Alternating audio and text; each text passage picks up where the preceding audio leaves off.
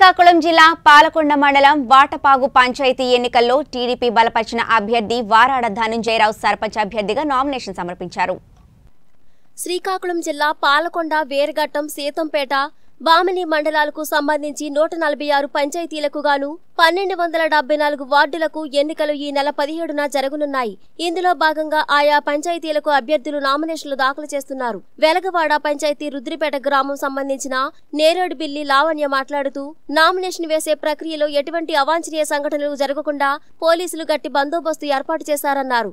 అలాగే పోలింగ్ రోజు ప్రశాంతంగా ఎన్నికలు జరిగేలా ప్రభుత్వం చర్యలు తీసుకోవాలని విజ్ఞప్తి చేశారు.